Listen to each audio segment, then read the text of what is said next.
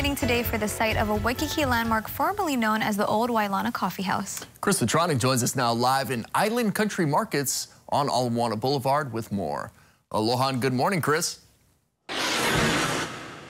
Aloha, and good morning to you, Sam and Brittany. Yes, we are live at the grand opening right off of Ala Moana Boulevard and Ena Street. That's where the old Wailana Coffee House is, but now the new home of the Island Country Markets. We've been seeing so much great stuff about this.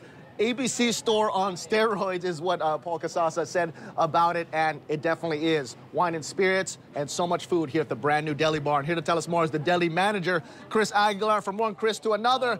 Aloha. Aloha. How's the things going? And good, good. what do we have here at the new deli bar? Yep. Uh, in here, uh, we uh, offer a different kind of uh, food uh, from breakfast burgers to pizzas. -huh. And, I, and, I see oh, yeah. what's over there. Yep. we have um, sushi kayo, and we serve fresh sushi every day, made in the house. Like the top seller that we have, we have the um, dynamite um, poke, I mean uh, sushi mm-hmm. uh, with a California roll and top with uh, spicy ahi, uh, tart spicy ahi actually with unagi sauce and spicy sauce on top. Oh yes, it looks so good. So you could get sushi and poke for breakfast if you want. Yeah? That's correct. Yeah, uh, anything, you know, we got everything. Yes, but also I see we got the regular breakfast here. It looks like the four pillars of the Hawaiian breakfast meat, spam, link sausage, Portuguese sausage, and bacon, of course, fried rice. What do we have here? So in here in the morning, uh, we have side, side uh, dish like fried chickens and uh, some lumpia and skewers. But lunchtime, we were gonna have like the prime rib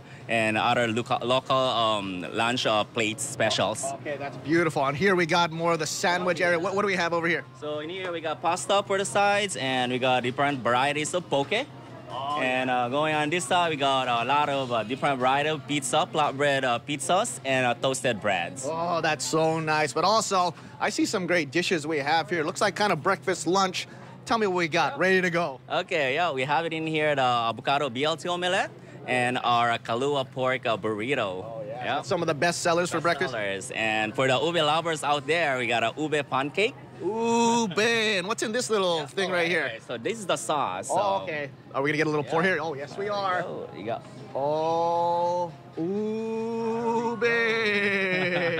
oh, that is just beautiful. So you can get that, but also I see a nice burger. Famous a burger right here, uh, topped with a pineapple, local grown in Hawaii. Yep.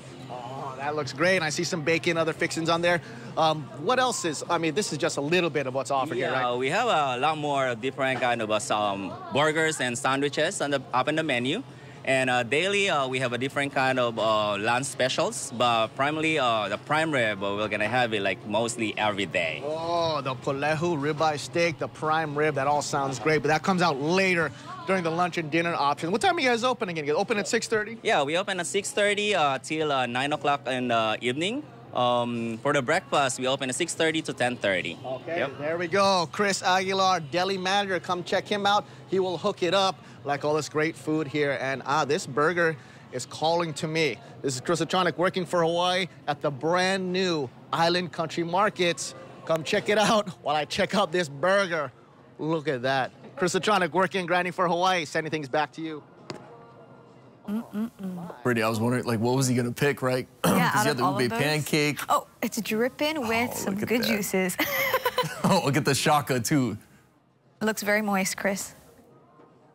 We love that. That looks good. That I can't believe how much food they have. Chef's kiss. Even yes. the ube drizzle, that was just the cherry oh, on top. Oh yes, that, that was, was so the good. that was the chef's kiss right there. It was. And they had all the yeah. all the pizza, the sushi. There was so much sushi so there. much sushi and so many different food options. Mm. And I mm. love how their food actually looks like the photos that they had next to like, their menu. So yeah, it looks really good. good. We're gonna have to check that out. And 6:30 a.m. to 11 p.m. It yeah. said. So that's really long business hours. Long day. Another plus.